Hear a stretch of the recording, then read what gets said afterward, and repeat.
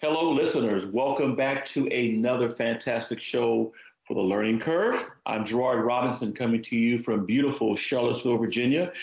Of course, it's really tough to do anything great, anything wonderful, anything good without having my co host with me, Cara. How are you? Just, I'm great. I'm going to record that uh, well, it's recorded. I don't need to record. It's recorded. I'm going to play it at the dinner table for my children as they scream at me about like, why did you make this for dinner? Where, why do I have to go to bed? Things like that. I'm going to say because I'm great. Thank exactly. you very much, Mr. Robinson. I appreciate it. I'm not coming to you from beautiful Charlottesville, but from rather cold Boston. Still beautiful. What's in your mind in the world of curve news for our listeners? Well, mine is from the great state of Texas, from Houston in particular. And they say that everything in Texas is big, but this mm-hmm. story is going to be big. And depending upon what side of the fence you sit on, you'll think it's big, good, or big, bad. So, Uh-oh. Houston Independent School District has 200,000 students. It is the largest system in Texas, one of the largest systems in the country former Secretary of Education Rod Page was the superintendent of Houston when he was selected to become U.S. Secretary of Education. Well, there is conversation at the State House about whether or not they should take over the entire public school district in Houston. And the reason for doing so is what broadly falls in the literature as academic bankruptcy, even though we don't utilize that term now, there are a lot of academic challenges in Houston, whether it's the dropout rate, the racial achievement, the number of students who are proficient based upon NAEP or even state scores, and a whole host of things. And so, those of you who are familiar with state takeovers, this is a messy process, but you know what? When you start talking about it, even before the final yes is put on a document, a lot of players come out. So Superintendent Millard House II said that uncertainty looms right now. And when I checked the news today before our show, right now the possible takeover is going to be Monday. It was actually scheduled to take place this week, so we'll see. And the superintendent said, well, while the lawmakers are trying to figure out what to do, he made note that in the last 19 months, his Houston School District, in fact, made great strides by reducing the number of campuses that received a D or F grade from 50 to 10. So that marks moving. The superintendent also talked about the work that his teachers and central office administrators are doing to try to close the achievement gap. Now, that's the superintendent. There were also community members who said, hey, we don't think this is a good idea. In fact, the convention center there were chants of hey, hey, ho, ho, TEA has got to go. TEA is the Texas Education Association, it's their board of education. And the mayor of Houston, Sylvester Turner, state representative Jarvis Johnson, and others were present and said, listen, we've got challenges, but keep your hands off Houston. A takeover is not going to do anything. Well, I've got some experience in this, both academically based and practically. I worked for, at that time, it was Superintendent Arlene Ackerman in DC public schools in the late 1990s, when in fact DC had been taken over by Congress. And DC was Congress, in Cleveland, it was the state, and in Detroit, it was also the state with the mayor. And just took a look at that.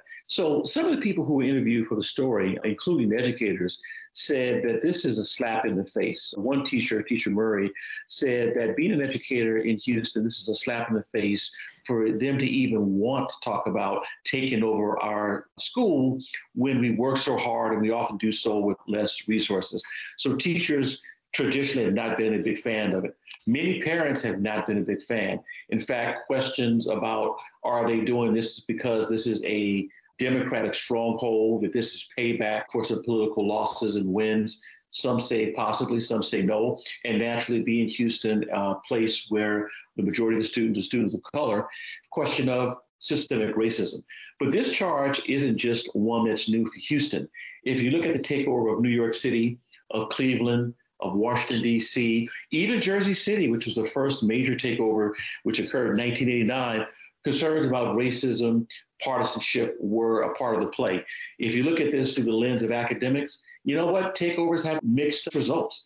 On one side, finances have been stronger streamlining the process of management has been great. And in instances where you've replaced the elected board with either appointed people all by the governor or a, I guess a hybrid model between governor and mayor, you've gotten people who would say, I'd never run for public office or school board in particular, but you know what? If I can help my school system, I'll join. So that's been some great things on that side of the fence. On the academic side, uh, it's mixed. You know, some grades have improved in math and science in other cities.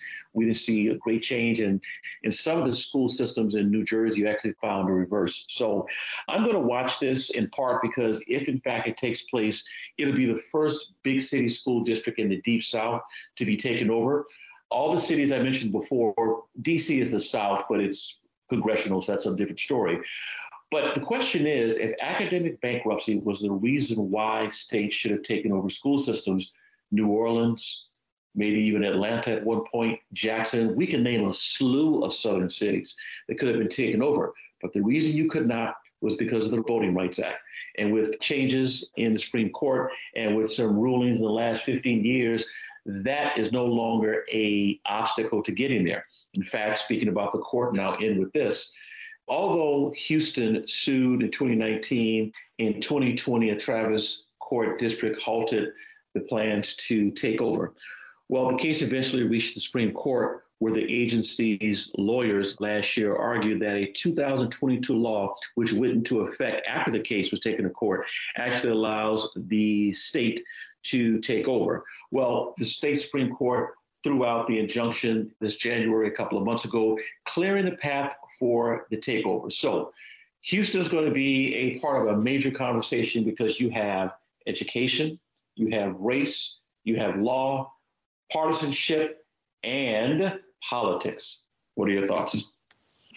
We have been talking about this for decades, number one about a year ago this time we were talking about potential takeover of the boston public schools. And you're right in, in, every single case it's politics it's race it's is this what the community wants etc and i'm going to touch on something that you said which i've said before which we all say is that these state takeovers have quote unquote mixed results as do school turnarounds. They have mixed results et cetera et cetera.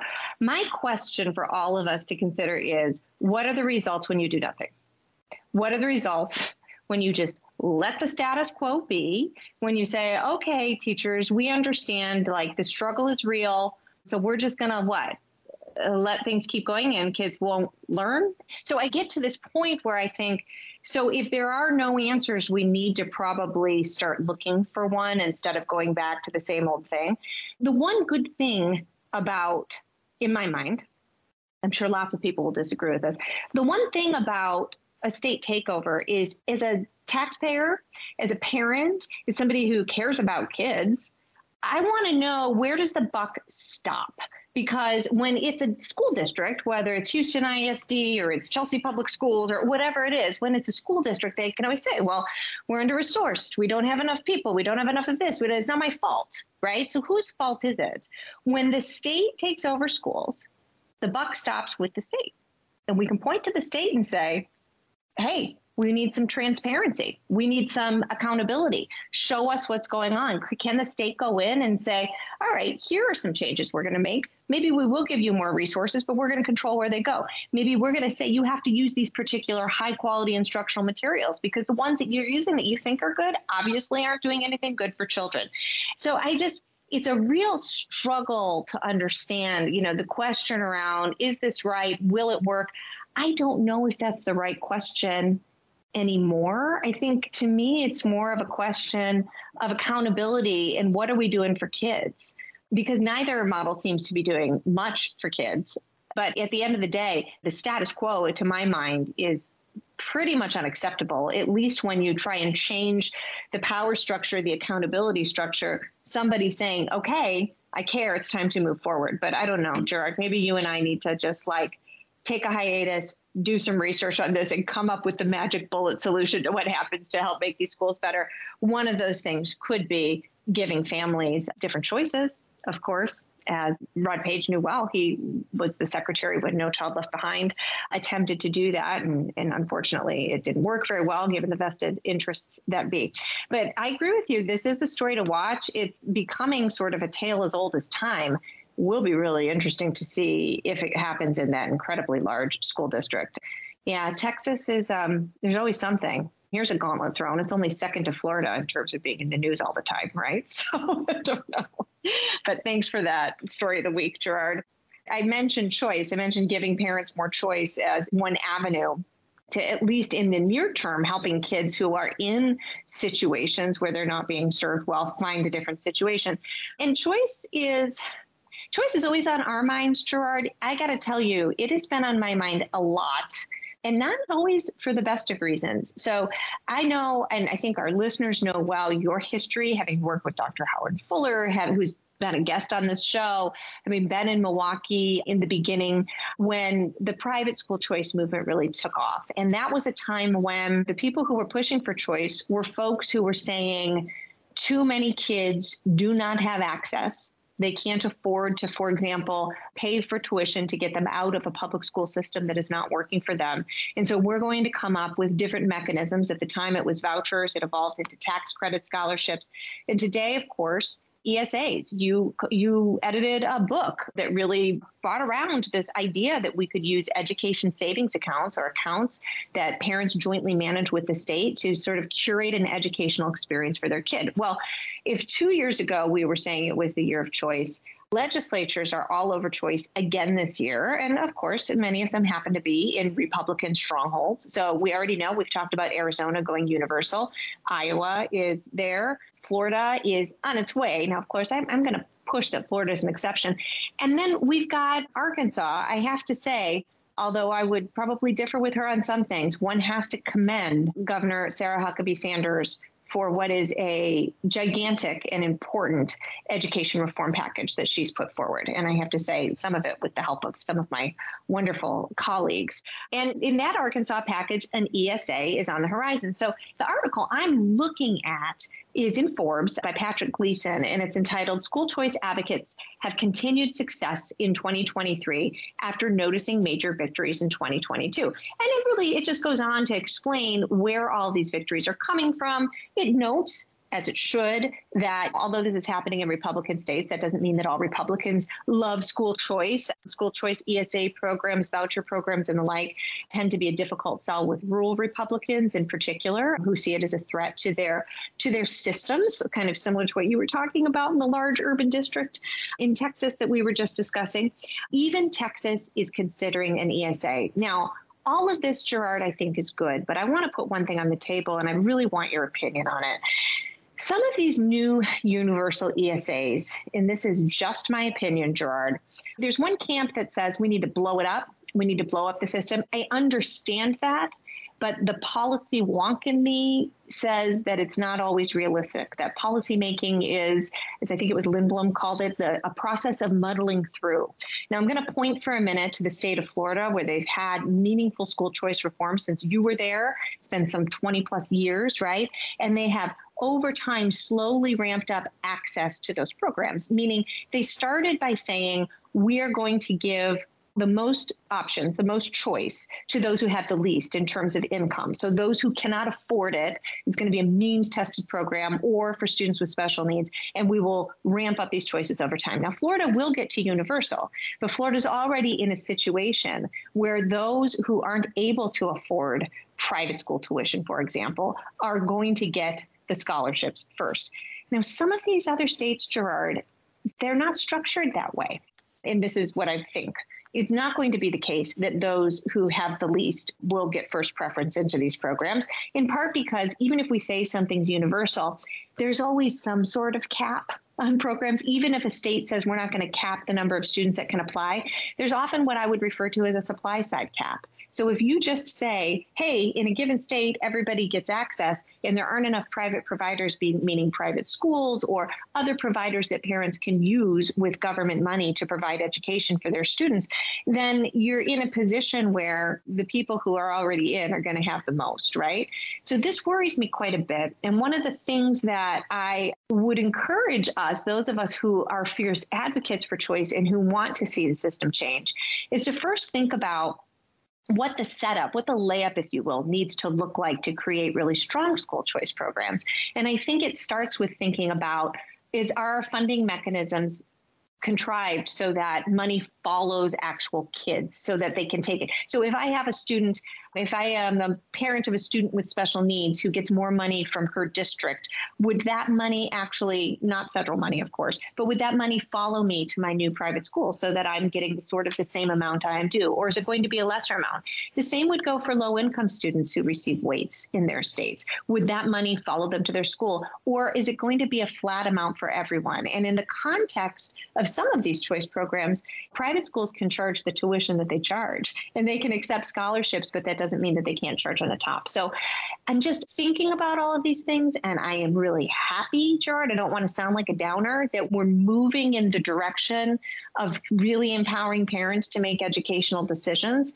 My fear is that we're moving so quickly, we're overlooking some of the really important components of what universal choice should look like and could look like so that we can make sure that we're not forgetting why we started this movement in the first place. Well, I can't include myself in that, why you and others started this movement in the first place. And it was to ensure that there was better access, more equal access, if you will. And I worry that we've forgotten that lesson just a bit, as excited as I am to see so many of these programs opening up. So, from your perspective and given your history, Gerard, what do you think? Am I worrying about nothing here? No, you're worrying about the right things because you're interested in issues of fairness, equity, and opportunity. And whenever you do that, naturally, you should ask great questions. When we talk today about universal choice, the first thing that comes to mind for people who aren't interested is that Gerard and Cara's children are going to suck up all the seats.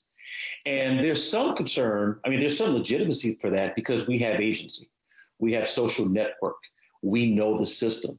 And Gerard today could well, maneuver the system to make sure my children had an opportunity to get into one of those seats in ways my parents could not because they had agency of a different type but definitely did not have the social network or the know-how to make that work. The absence of having my parents take advantage of it doesn't mean that we shouldn't do it. And what we've done for the last, I guess, maybe 20 years of the movement was to focus on the class based argument of choice, which I still support that we'll pick a number 300% poverty level, 250, 400. And we say this is the cap.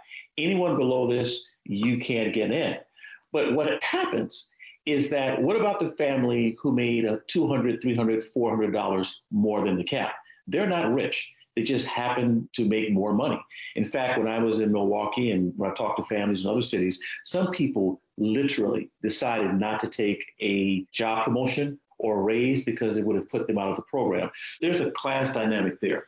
Number two, and this is where I think the future of universalism is going to go, is that when I have a Cara and a Kimberly, and when you two call 15 of your friends and you decide you want to support this program, the moms who don't have the agency and the network are going to find ways to benefit as well. Because the assumption is that Gerard and Cara will take the seats. Maybe we will, but guess what? Maybe we won't. We already have our children's schools we like. We practice choice. It's called buying a house in the right zip code. And so, even though you two don't take advantage of it, guess what? We're now going to be advocates for families who don't have the agency of a social network to say, you know what? Here's some seats that are open. What can we do to work for you? I think that in the absence of universalism, you're not going to get the Kimberleys, let me not use you, the Kimberleys, the Karens, and the others. Well, you know what? I probably shouldn't use Karen in today's. I was just going to say, I don't yeah. Let's just say the moms who wouldn't qualify for class-based choice mm-hmm. to have them in the movement is going to open up more doors for the moms who do not and having seen 20 years of just the moms with the door i've seen victories bail black alliance for educational options showed that there were victories So it can happen, and it's happening now. I'm just saying the ESA, in a certain way, is the maturation of our conversations about vouchers in the 90s. And yeah. so naturally, it would be an ESA versus a voucher, and naturally, it would be universal versus means tested. So I've got a foot, one foot in one camp, one in the other. There's a saying that someone who straddles the fence will have a sore middle.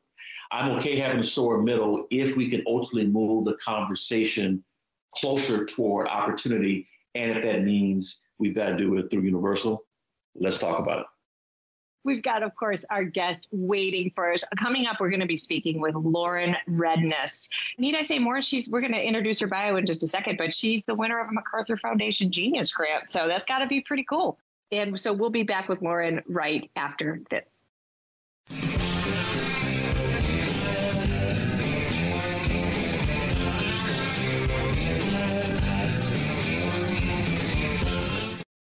Learning Curve listeners, we are back. We are with Lauren Redniss. She is the author of several works of visual nonfiction and the recipient of a MacArthur Foundation Genius Grant. Her book, Thunder and Lightning Weather, Past, Present, Future, won the 2016 PEN E.O. Wilson Literary Science Writing Award. Radioactive, Marie and Pierre Curie, A Tale of Love and Fallout, what a great title, was a finalist for the National Book Award and the basis for the 2019 major motion picture Radio radioactive. The New York Times called her 2020 book Oak Flat, A Fight for Sacred Land in the American West, brilliant and virtuosic. She has been a Guggenheim Fellow, a Fellow at the New York Public Library's Cullman Center for Scholars and Writers, the New America Foundation, and Artist in Residence at the American Museum of Natural History. She teaches at the Parsons School of Design in New York City. Lauren Redniss, welcome to the Learning Curve. Thank you so much for having me. Yeah, we're really happy to have you here. Okay, so I want to jump in I have to say, Marie Curie, every year for Halloween, my kids' school, instead of picking a Halloween costume, they do something called Mystery History Day, where they have to pick somebody from history and dress up like them and then give a short presentation of why that person is important. And Marie Curie is always in the mix with the little girls. You can just see a bunch of them like marching around the elementary school. It's a lovely day. So I want you to tell us a little bit about her. She was named the Scientific Joan of Arc. And, you know, our listeners should know she was a, the renowned early 20th century Polish French scientist, the first woman to win the Nobel Prize, and the first person to win a second Nobel for her groundbreaking work in two different scientific disciplines, physics and chemistry. So, could you tell us a little bit about Madame Curie and how is it that you came to her as a topic of study, and how did you come to write about her? Well, first, I just love that image of all the little children walking around as Marie Curie. And because she really only had like about two different dresses that she ever wore for anything, I can imagine these they all look little the same. identical yes. Marie Curie strolling around. Just so charming. So, where to begin? Well, I'm a visual artist.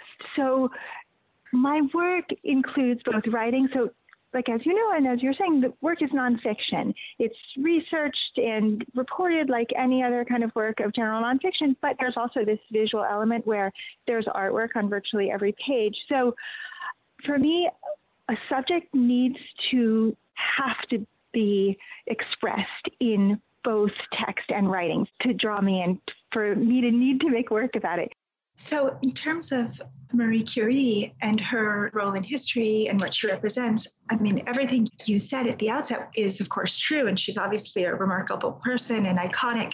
And the idea of the book is both to celebrate her achievements, but also to humanize her. I wanted to paint a nuanced picture of a woman who I actually think is a complicated person. So, what do we need to know? Like, I mean, the little girls that are marching around as Marie Curie at my kids' school, what should they know about, like, how she grew up, about those things that are sort of unspoken when we read about her wonderful accomplishments?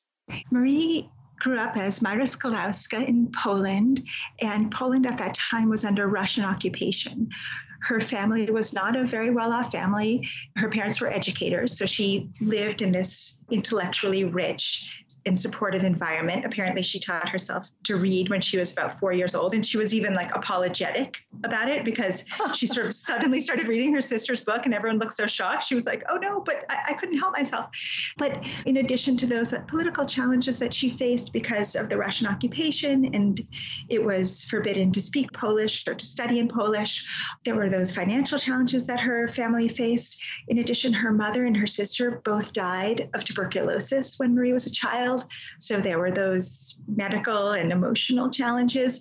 So she was really dealing with a lot. And of course, even just being a girl, there were limitations on the access to education for her. So she, in fact, took part of what was sounds like a pretty remarkable i don't know if you could call it institution or organization that they called the flying university or the floating university. It was an organic collection of people who educated girls at their different homes.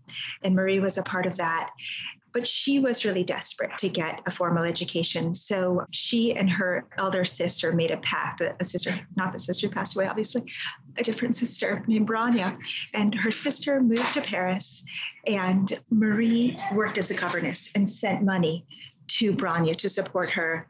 And then as Bronya established herself in Paris, she sent money back to Marie so that she could eventually come and study at the Sorbonne, which she finally did to become one of just 23 women who are studying at the university out of, you know, about 2,000 students just amazing. And this idea of the flying university is something that I think resonates when we hear stories about women in countries today that don't have access to education and how they are making it happen for themselves. Yeah. I want to talk about you and your work for a moment. So, Radioactive, it's a literary achievement, it's also an artistic achievement. And it was the first work of visual nonfiction to be recognized as a finalist for the 2011 National Book Award. So, how is it that when you work that you weave together images and writing and reporting in science? Can you tell us a little bit about your process? Part of it is relatively conventional. I'm working in an archive, you know, reading old letters and journals and diaries, and I'm out reporting and interviewing people but then there's this visual aspect that, you know, I'm always drawing wherever I go and I'm collecting different kinds of ephemera or taking photographs, all different kinds of resources that I'll later be able to use as reference material for making the artwork. And then I bind a dummy book. You know, I approximate how many pages the finished manuscript will be. And I literally sew together a hardcover book, blank book, and I start Xeroxing my sketches and cutting them up and scotch taping them in. And i'm you know printing out my microsoft word document and i'm physically cutting it up and placing it. And so that's how i sort of work out the pacing and the narrative arc of the book. That's how i feel. I'm all for every type of access to reading material that people desire online kindles whatever but for me like the physical object of a book is just like a perfect technology as is and i love that element of surprise, you know, when you turn a page. And so I try to think about how the reader is going to feel when they move from one page to another. You know, what unexpected twist can you give in terms of the color palette, in terms of the written narrative? So all of those elements are part of how the ideas are communicated. So I want to read a quick quote and you could tell us more about it. So it goes, nothing in life is to be feared, it is only to be understood, proclaimed Marie.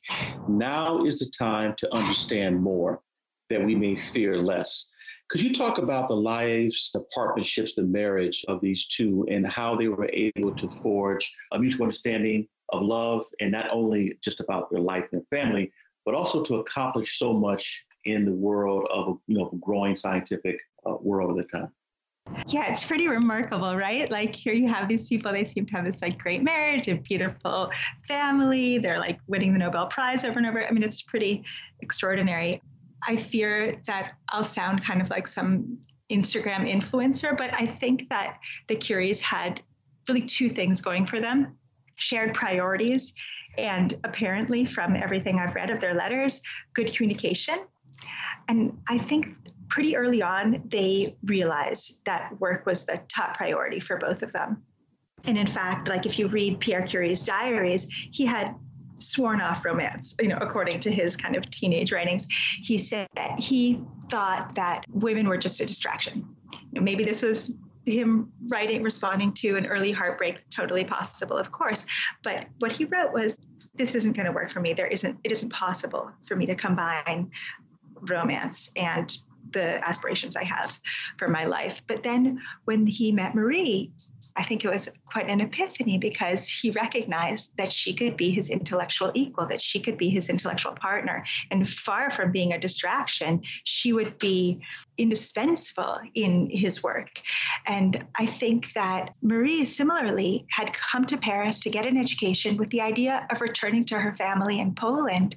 But then meeting Pierre, she realized that this was actually the life that made sense for her, staying and working and building a life with him.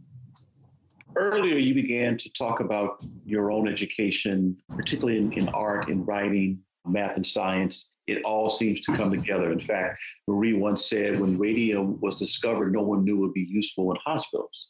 That work was pure science, and this is proof that scientific work must not be considered from the point of view of direct usefulness. Talk to us more about how you decided to put together your own education, your own work to create the kind of book that you have. First, I want to just mention one thing about the quote that you read from Marie, which I think is really, really fascinating because it points to some of the contradictions in her as a figure. Because in fact, Marie and Pierre were innovators in integrating pure science and medical research. They were actually some of the first scientists to put their research lab right next to a hospital. And Pierre Curie had this idea at one point to put a vial of radium on his arm and it damaged the skin, you know, unsurprisingly to us now. But this was part of a great insight that they made that if radium could damage healthy tissue, it could also perhaps impede the growth of damaged tissue. And that's how it became part of cancer treatments, which is, you know, still to this day called Curie therapy in France. So I think that's really, really interesting that she said that because she's a complicated person. In terms of my own education and how I found myself doing this kind of work, I don't have in, really any formal education in science beyond the like the schools would have. I had to um, really study up to be able to write this book, and I like to think that it is kind of an advantage because in doing my research, I read a lot of biographies of the Curies, and I often found myself getting to these moments where they made their big scientific discovery and not being able to understand the science of it and therefore not being able to really feel the kind of traumatic import of that moment. So I felt like my duty in writing this book was to understand the science sufficiently to be able to communicate it clearly enough that a reader would be able to get that kind of emotional and visceral reaction to those moments of discovery, that they would actually feel them as opposed to just being told they were important. So, part of the way I did that was I would write the text, and then after I had my full manuscript written, I brought it to a friend, the historian of science, Professor Emeritus from Yale, Daniel Kevles, and he very generously sat with me and would go over the passages and tell me, like, oh, well, you know, he would say, you know, the kind of most scientifically accurate way to phrase a certain idea. And then I would come back to him and say, okay, I hear what you're saying, but what about this version? Because there might have been a different poetic approach that I wanted to get at in the phrasing. But of course, I also wanted to get the science right. So we would kind of navigate that together. And once he had signed off that both the science and was correct and I felt the poetry of the phrasing was correct, then I was good to go. So, last question before we turn it over to you to read a passage of your choice. We're celebrating Women's History Month. Marie Curie obviously revolutionized our human understanding of physics and chemistry. She's someone to recognize, but so are you. You know, your book earned many literary and artistic accolades. There's actually a motion picture, Radioactive, based on your book. Would you talk to our listeners about what it's like having your work adapted into a film? Well, I mean, the shortest possible answer is it's really, really fun. for me, you know, I'm a super duper control freak in my own work. You know, I do the writing, I do the artwork, I do the design, I design my own typeface for this book. Like there's no millimeter on this book that I didn't kind of finesse and tweak. So when the book was optioned, I really just handed it over. I was like, okay, I'm just going to sit back and see what you create. And I had no formal role in the making of the film.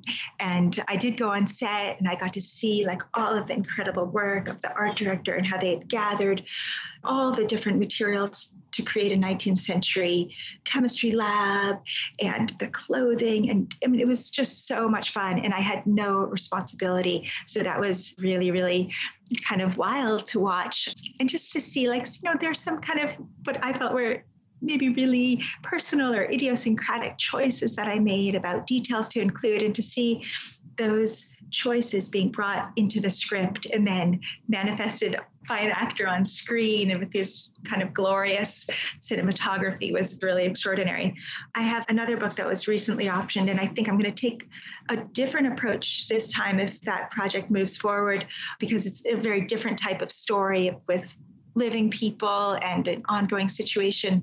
So I think, you know, again, like every project is really so unique. And in this case, it was just kind of magical to watch a bunch of creators turn this book into something completely new.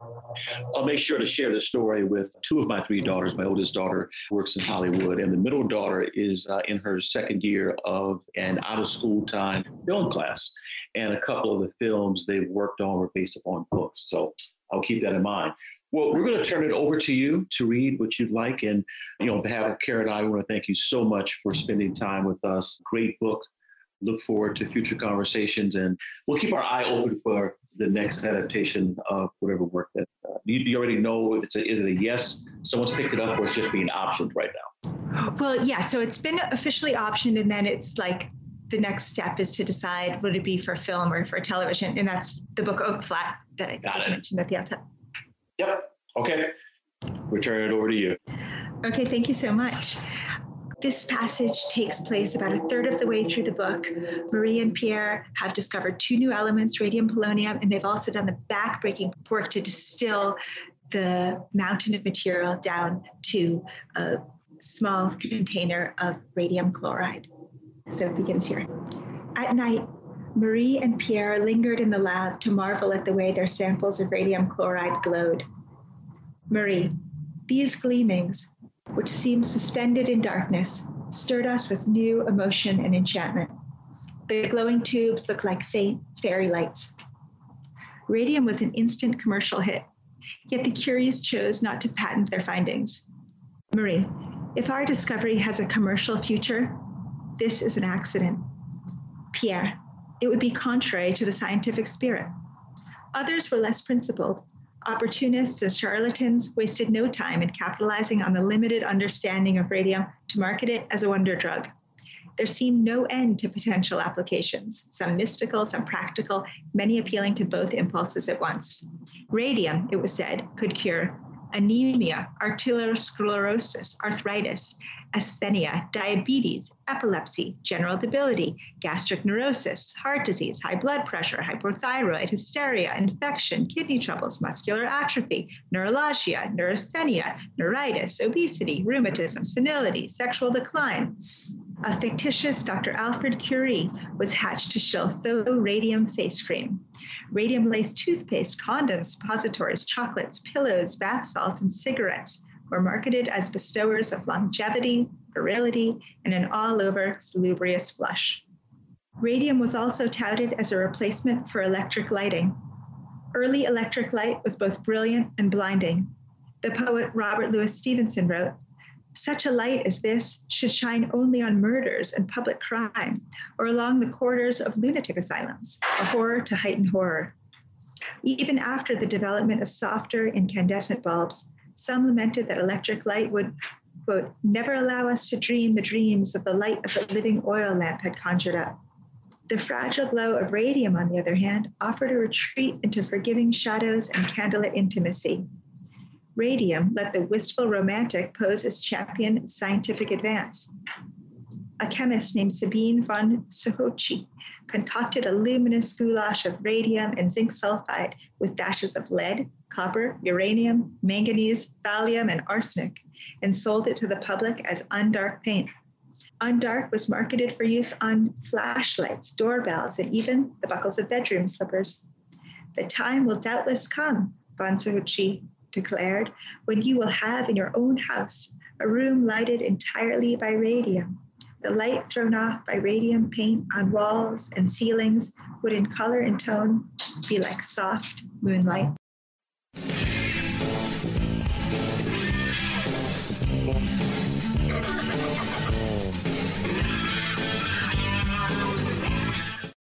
And so my tweet of the week is from the U.S. Military Academy, better known as West Point.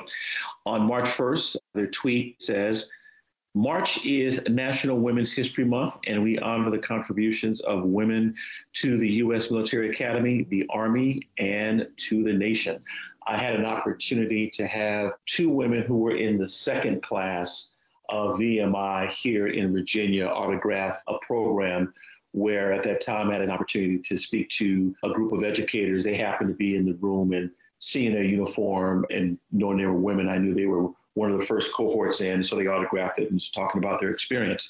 Glad to celebrate National Women's Month and History Month, and glad to see us talk about their role in the military. Because even before they put on a uniform, women have been involved in supporting the military in many different ways. Yeah, true that. I'll take Women's History Month. I'll take women's everything every day. Thank you for that, Gerard. Okay, we're going to be back next week with Sir Jonathan Bate. He is a professor of English literature and senior research fellow of Worcester College and the University of Oxford. He is also, of course, the author of numerous scholarly books on William Shakespeare. So we'll be back with another fabulous scholar next week. Until then, Gerard, you take good care. And I'm going to continue noodling what you told me at the top of the hour about ESAs. We're going to see if we can get you to commit one way or another pretty soon. Sounds good to me. That's good. Take care, Drew. Okay.